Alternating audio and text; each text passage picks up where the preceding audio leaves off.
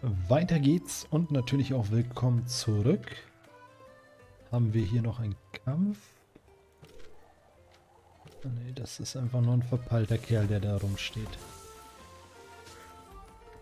Schnell nochmal zum Heilen hoch.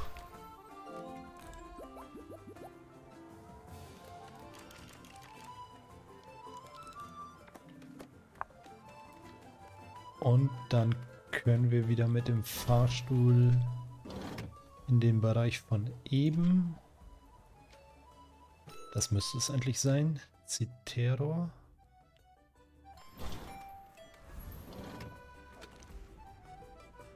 Genau, hier sind wir richtig.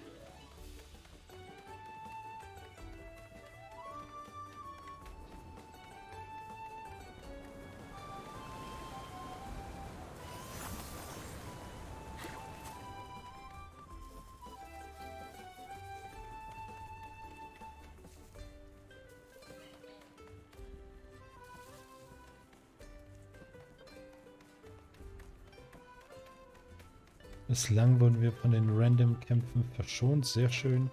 Aber ich bin falsch gelaufen. Gut, dann geht's wieder zurück. Hier müssen wir nach unten. Und da ist natürlich die Rache der Random-Kämpfe.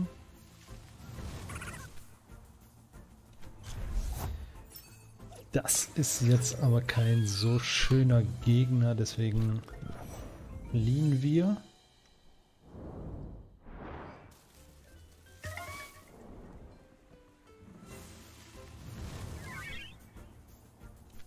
Ah, wieder nicht so der Brüller.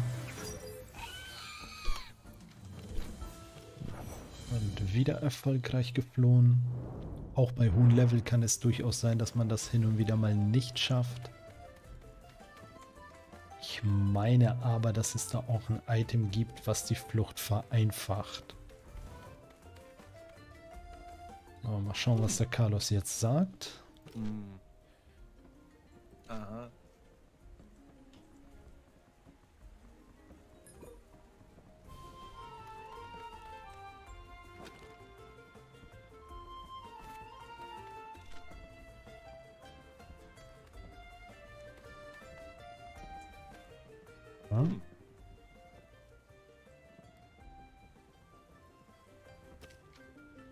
Okay, dann schauen wir mal hier.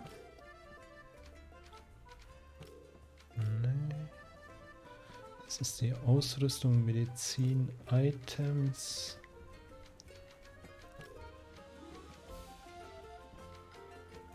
Okay, wo ist jetzt die Uniform? Hier kann sie eigentlich auch nicht sein. Bei Ausrüstung dürfte sie auch nicht sein. Kurse auch nicht.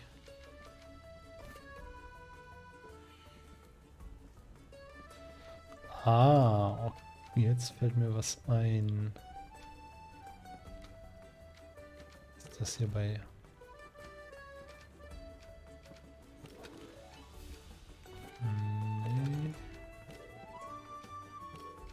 ist... Ah, doch hier. Und das Sets.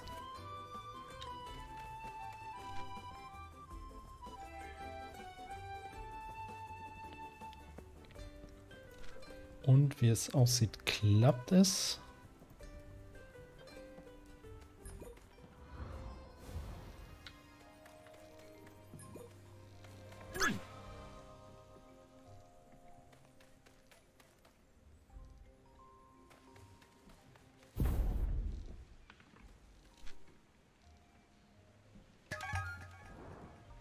Ist auch interessant. Er wollte sich nicht durchkämpfen. Wir sollten uns reinschleichen.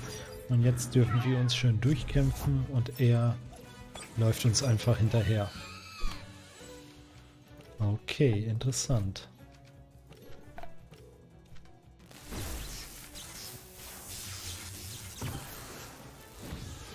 Ja, das war schon so eingeplant. Jetzt kommt der Windstoß und Gegner 1 besiegt. Okay, damit habe ich jetzt nicht gerechnet, sonst hätte ich den als erstes anvisiert. Weil das Ding ist nicht das Problem.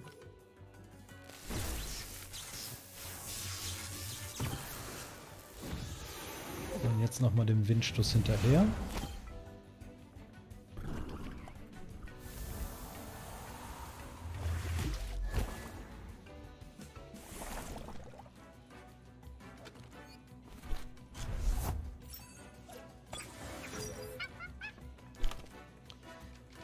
Werden wir mal die etwas härtere Attacke machen, um den One-Hit zu erzwingen.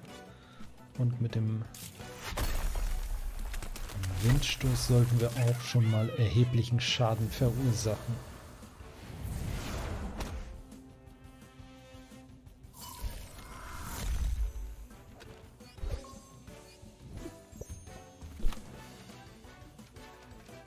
Jetzt ist es eigentlich egal, was wir nehmen. Wir nehmen aber vorsichtshalber die geringen AP-Fähigkeiten.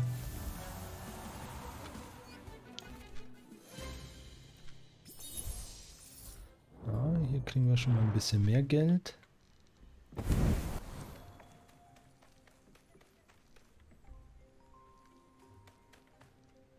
So, die despawn direkt. Bevor wir weitermachen, noch mal ein wenig. Da haben wir es. Hochheilen. Wir haben zwar die Essenz, aber wer weiß, wie lange das hier geht. Ein Kampf werden wir danach definitiv noch haben. Vielleicht sogar auch noch einen zweiten.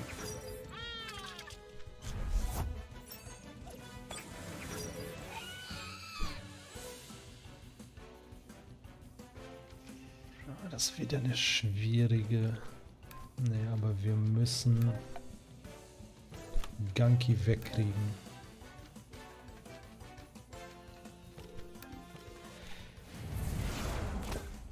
Ja, shit.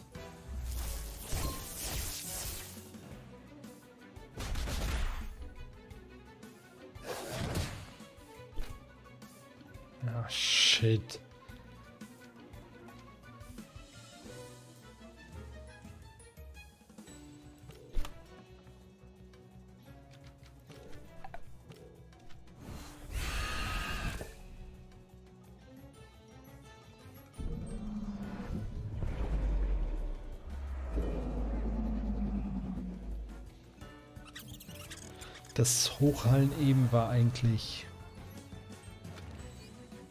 ja, Verschwendung, denn das, was wir hochgehalten haben, wurde massiv zerstört.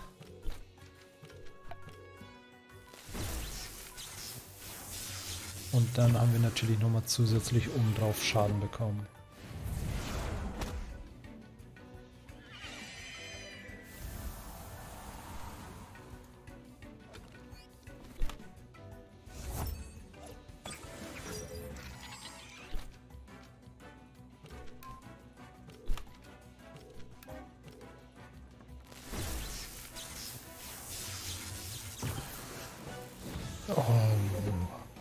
Einem oder zwei HP überlebt. Das gibt's doch nicht.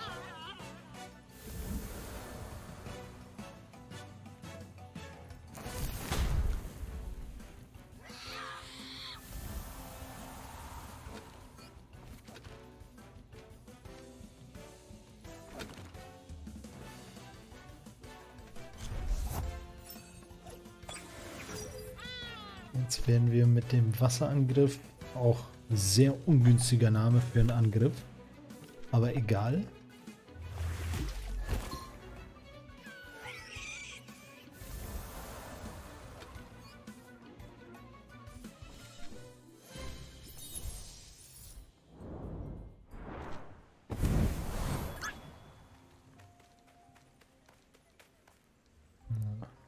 Okay, zwei Kämpfe sind es noch. Wir haben hier was und dort. Nessler ist schon erheblich angeschlagen.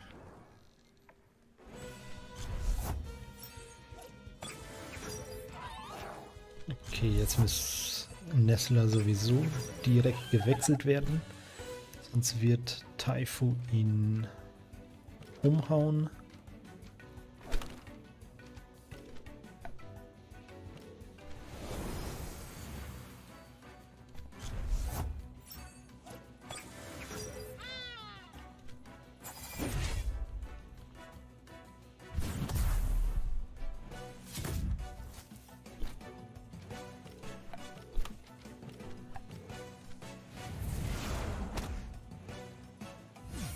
Von Windstoß habe ich mir ein bisschen mehr erhofft.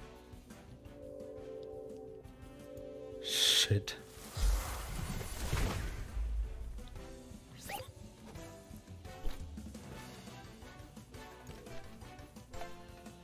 Gut, Windstoß hat sowieso nicht so viel Schaden gemacht. Dann hoffen wir mal, dass der wilde Schlag bei Skunch ein bisschen mehr Damage macht.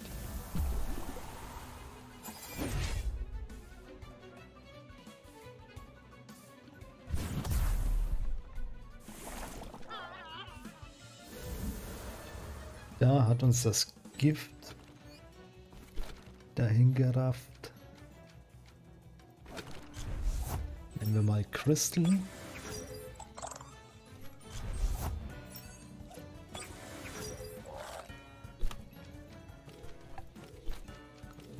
Erst auf den angeschlagenen und dann nehmen wir uns den Fisch vor.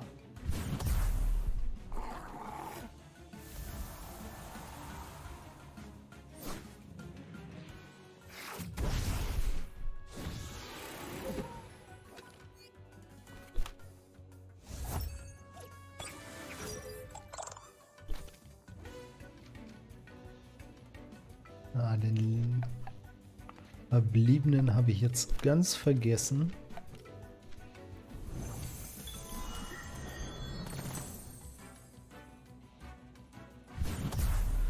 Okay, das war jetzt auch nicht so effektiv wie gedacht.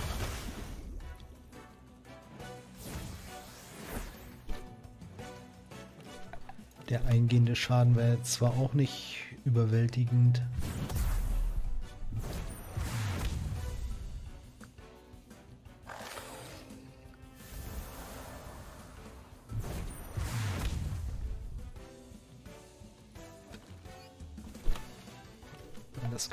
hier entspannt aussitzen.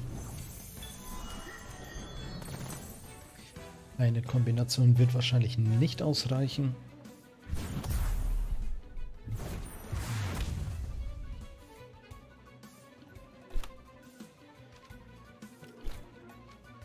Aber das sollte jetzt den Ausschlag geben.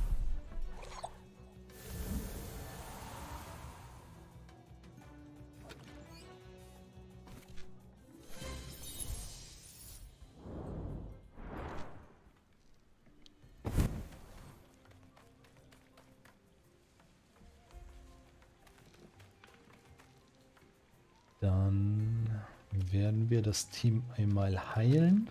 Das ist schon ziemlich ramponiert.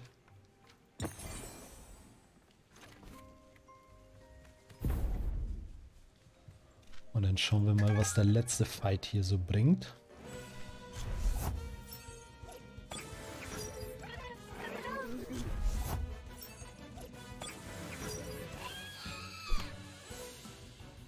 Jetzt greifen wir uns erstmal das Flug Temtem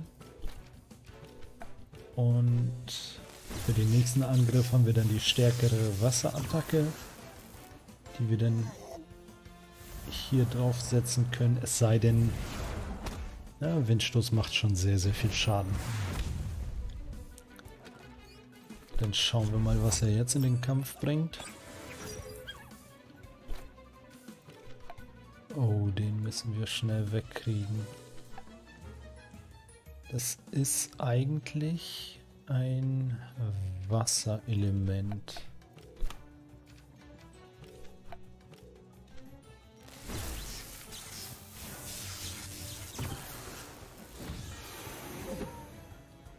ein normaler Windstoß hätte schon gereicht. Okay, der Psy-Schub ist jetzt ein bisschen zu viel.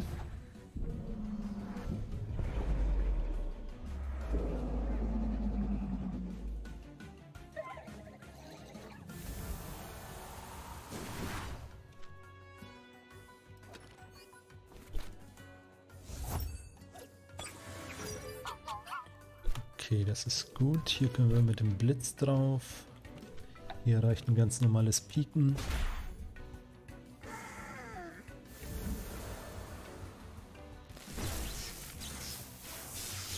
Reicht das? Ja, nicht ganz.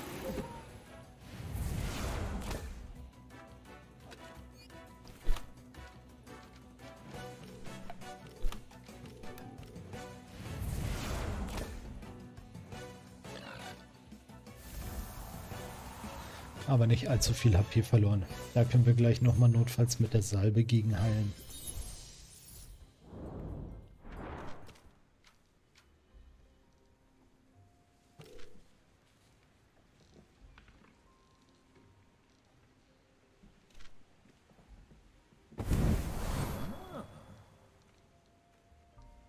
Ja, schön, dass er sagt, dass meine Verkleidung funktioniert aber wir uns dennoch hier komplett durchkämpfen mussten.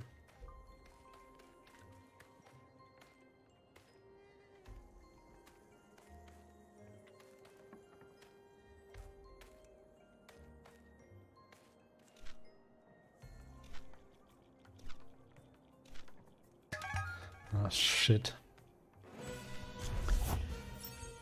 Also fürs nächste Mal direkt heilen und dann los tigern. Alles andere ist Blödsinn.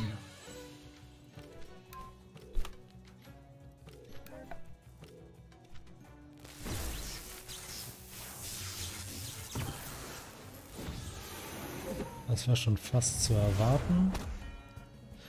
Das ist unerwartet, weil wir die Entwicklungsform von Banapi eben fast gewonnen hätten.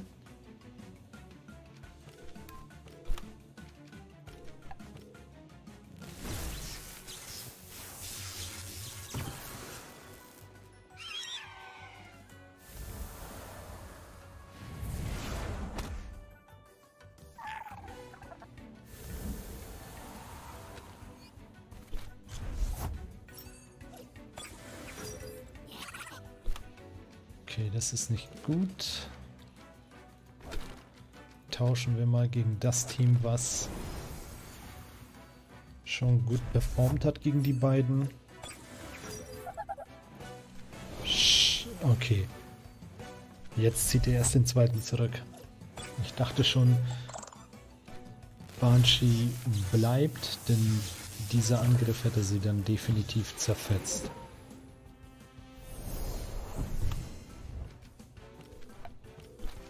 Schnappen wir uns erstmal den Geist.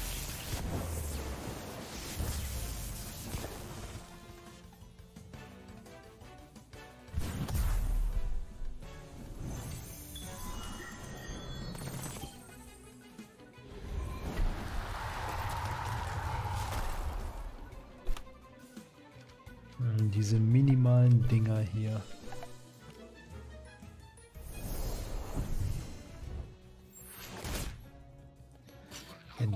Kassieren wir aber schon mal keinen Schaden.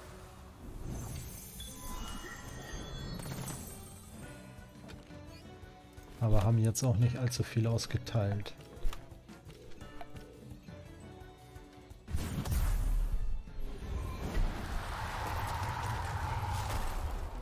Ja, das war schon ein bisschen mehr.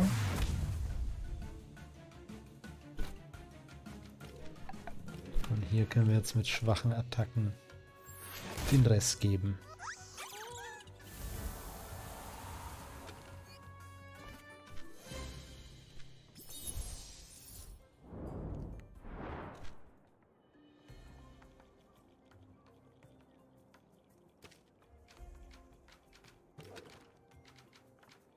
Diesmal wird direkt geheilt.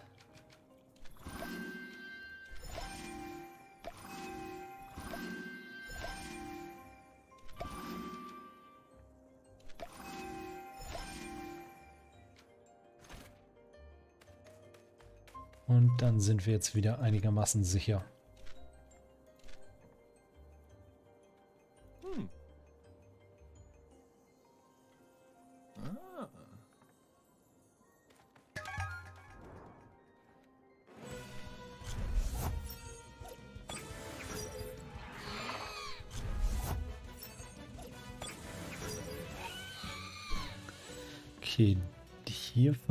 Mal, dass das die Weiterentwicklung von Magi ist. Magi war Feuerelementar. Banshee sollte mit einem Blitzangriff gewone-hitted werden. Das sollte kein Problem sein. So sind wir eigentlich gut aufgestellt jetzt. Ja, sehr schön.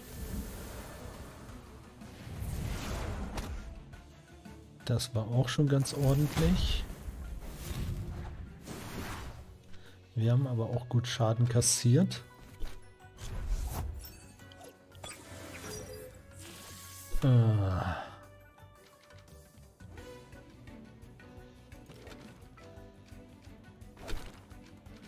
Dann jetzt nichts, wir müssen beide wegziehen.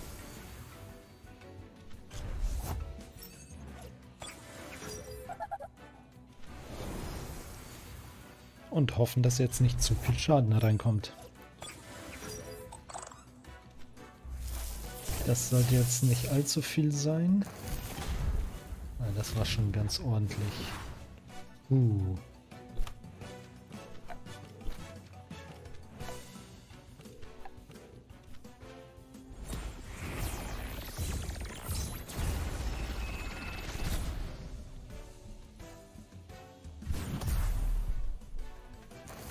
Shit.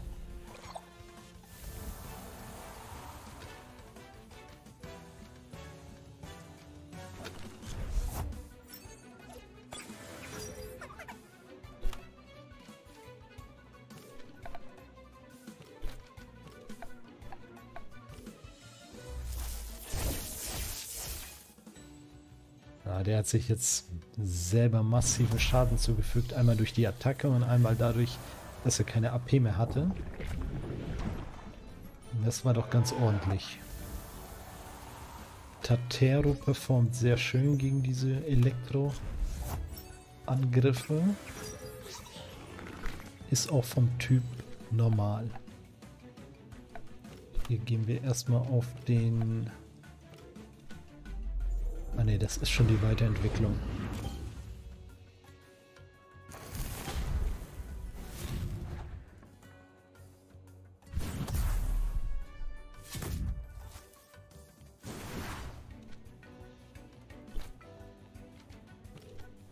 Ah, hier gehen wir mal bis zum bitteren Ende.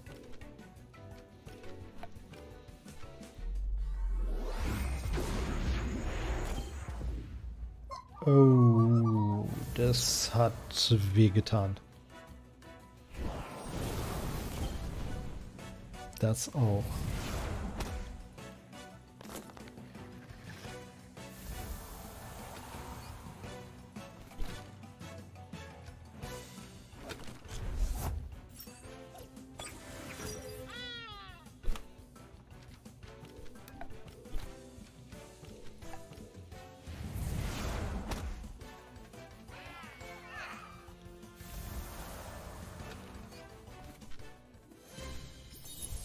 Ja, der Kampf war im Großen und Ganzen eigentlich ganz okay. Hm. Aha.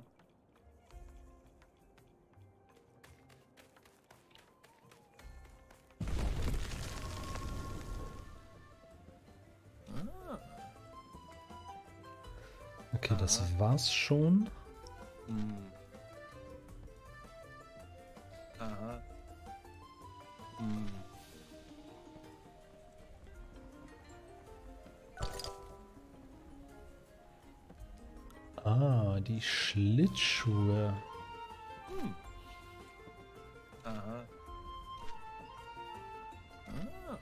Jetzt können wir auch vernünftig übers Eis gehen. So, der Baum ist jetzt für uns gesperrt. Wir kommen da nicht mehr hin. Schade. Wird sich vermutlich aber auch irgendwann wieder öffnen. Jetzt. Da kommen wir Ah, verdammt, auf dem letzten Meter.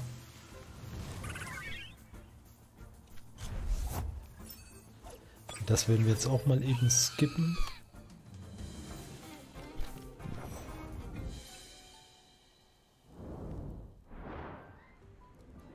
Ich habe eigentlich gedacht, dass wir hier den Enter-Haken bekommen, den hier jeder benutzt. Aber jetzt können wir hier auf dem Eis ganz normal uns fortbewegen. Und das dann natürlich auch in jede Richtung.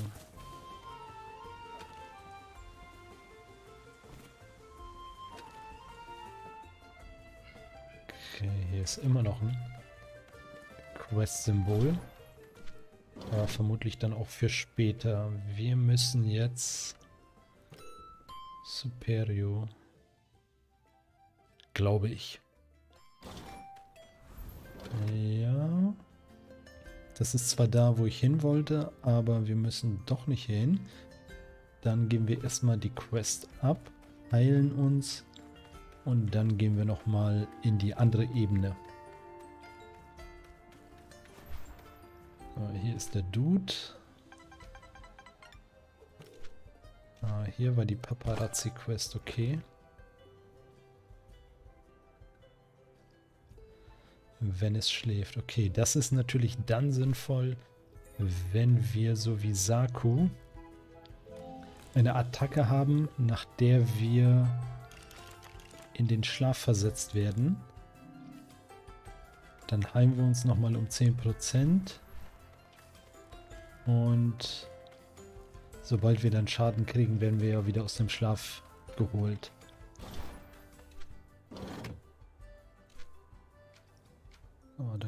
Hier unten hin.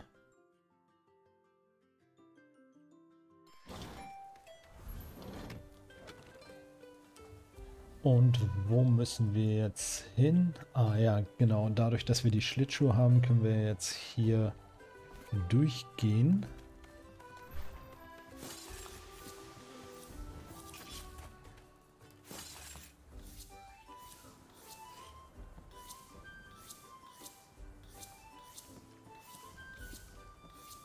Das ist ja schon mal sehr angenehm. Dann fehlt uns aber immer noch der Enterhaken.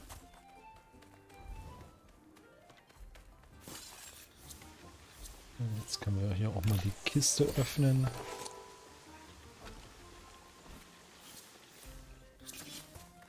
Und den Save Point nochmal aktivieren, falls wir besiegt werden sollten.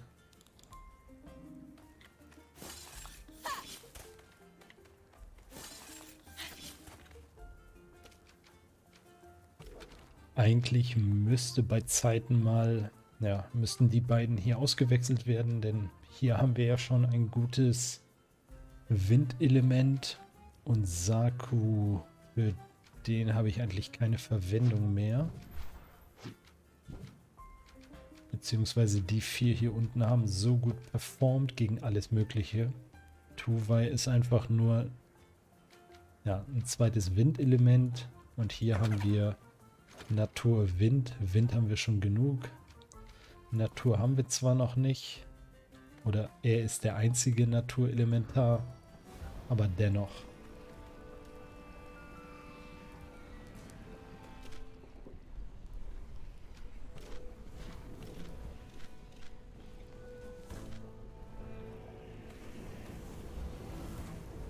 Ach, ich bin immer noch in der Belsoto-Uniform.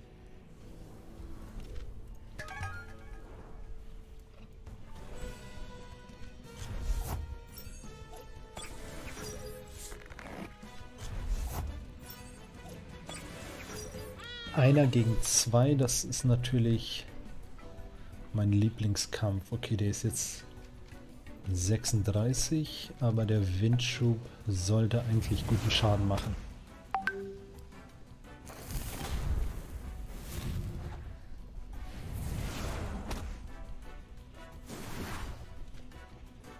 Von Tuwai ist der Windschaden deutlich besser als von Saku. Versuchen wir hier mal mit den Blättern was zu machen. Okay, brauchen wir noch nicht mal.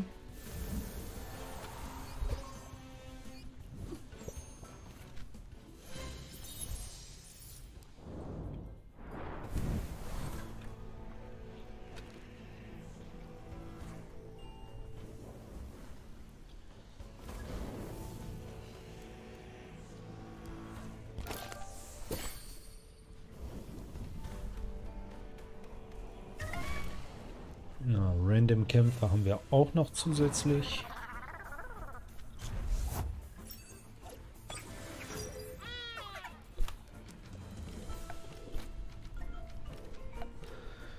Ich würde ja auf Nessler wechseln. Weil der hier mit seinen Wasserangriffen schon viel Schaden macht. Aber der ist vom Level auch schon ja, 35, der stärkste von allen. Und wir brauchen hier mal so ein bisschen Gleichgewicht. Auch wenn die beiden, die wir jetzt nutzen, demnächst ausgesondert werden.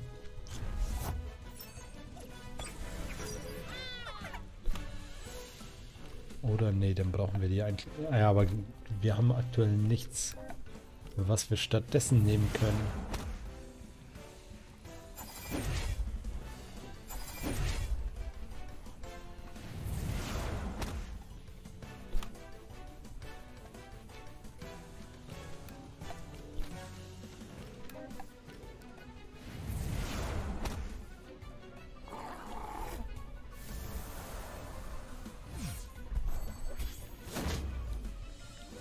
Ich habe für die beiden zwar schon Temtems im Auge, die ich gerne ins Team aufnehmen würde. Allerdings können wir die aktuell noch nicht fangen. Von daher können wir das Team auch noch nicht abändern.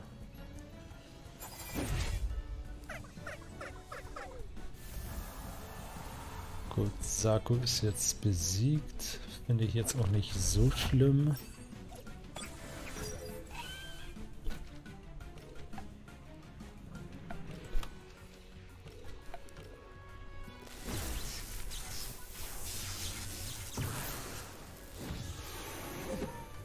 Hätte Nestler jetzt noch die richtige Eigenschaft, wäre es noch um einiges besser.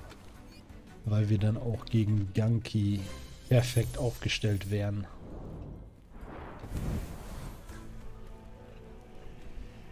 Da kommen wir nicht hin.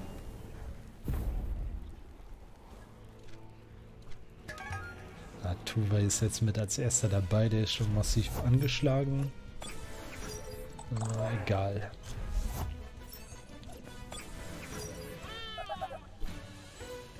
Hier werden wir zunächst einmal auf den linken gehen. Auf Erase.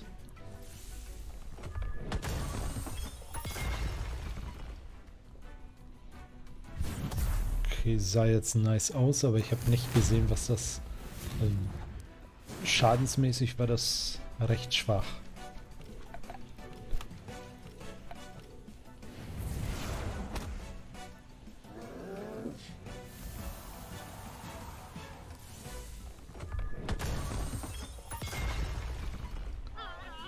Ist jetzt zwar besiegt, aber der hat auch nicht viel HP gehabt. Und Crystal hat hier massiv an Schaden bekommen, weil er nicht genügend AP hatte. Für uns gut. Es ist einfach nur...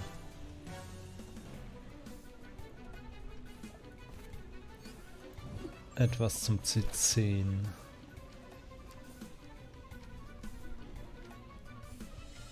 Holen wir mal Crystal.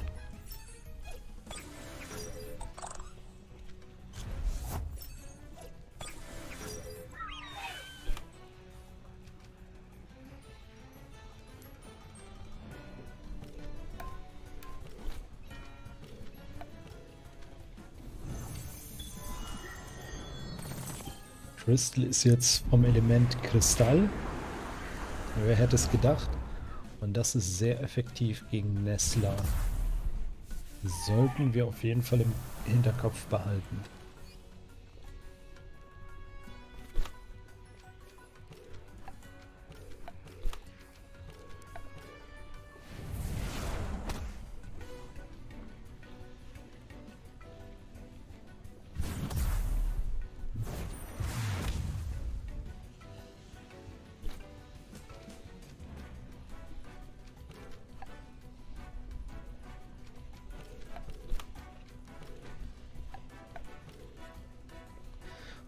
AP her ist eigentlich egal, was wir nehmen. Ich wollte erst das geringste nehmen, aber beide haben genügend, ohne dass die sich da irgendwie groß Schaden zufügen. Von daher hatten wir da die Qual der Wahl. Kristallstaub ist ja von der Initiative her sehr flink. Von daher war das schon mal die richtige Wahl.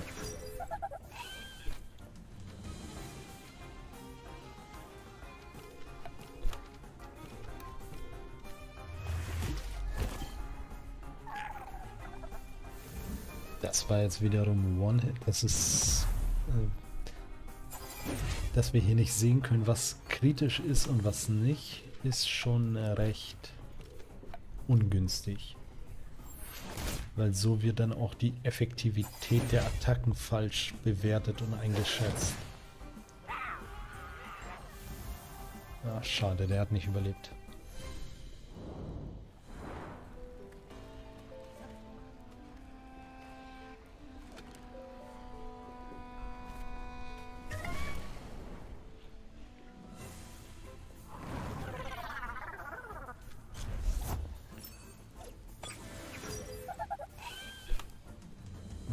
Sind jetzt sogar noch mal ein Level höher. Dann werden wir den mal hier drauf lassen und Nessler da drauf. Okay, und dieser HP-Unterschied kann jetzt nicht von einem einzigen Level kommen. Von daher, wenn unser Wasserangriff nicht crittet, dann kann es eigentlich kein One-Hit sein.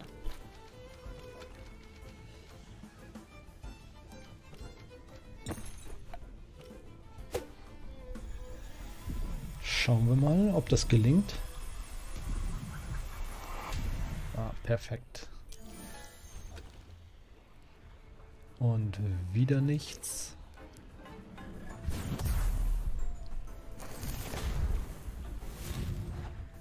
Aber anscheinend bekommen wir noch mal eine zweite Chance.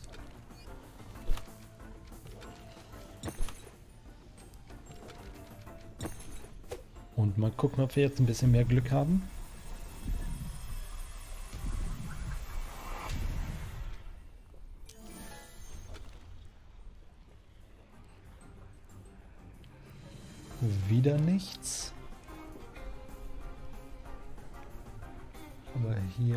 Hat eine schöne Eigenschaft.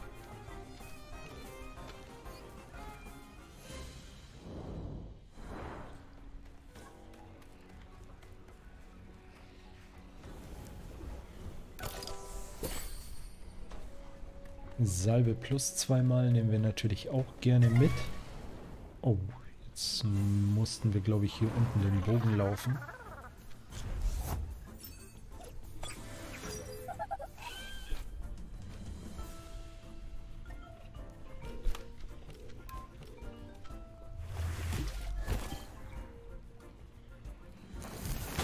Der wiederum nochmal ein Level mehr als das, was wir eben attackiert haben. Und er hat mehr HP verloren.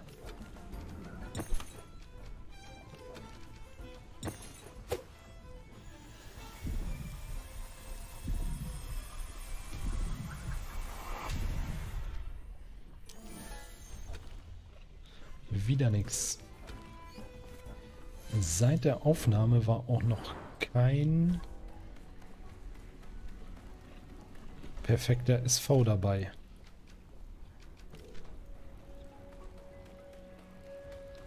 Hier müssen wir jetzt eigentlich nach rechts. Wir gehen aber einmal nach links, um zu gucken, was hier noch so ist. Entweder eine Kiste oder ein Kampf.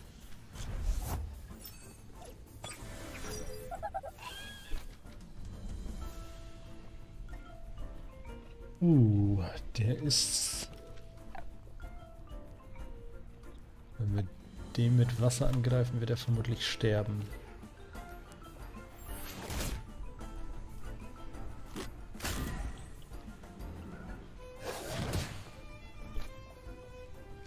Okay, jetzt können wir ihn fangen.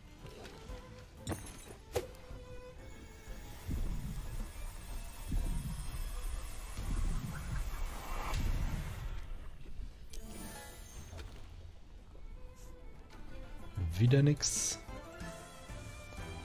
verhindert, dass er in Schlafzustand versetzt werden kann. Für PvP würde ich schon fast sagen ganz nett, aber ich weiß jetzt auch nicht, wie oft das im PvP gemacht wird.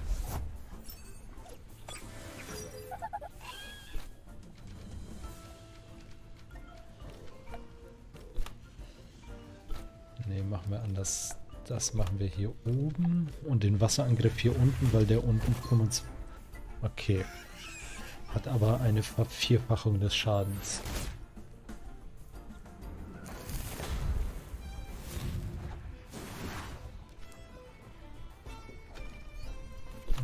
Jetzt werden wir es mal riskieren. Na, der wird jetzt sterben, der kleine Reiber. Ja, doch nicht. Sehr schön. Dann können wir ihn ja fangen. Nestler war sowieso ausgezehrt.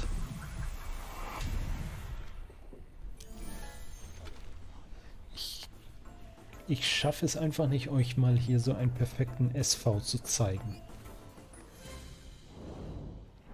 Schade. Okay, gut. Wir machen eine kurze Pause und vervollständigen die Höhle dann gleich im nächsten Take.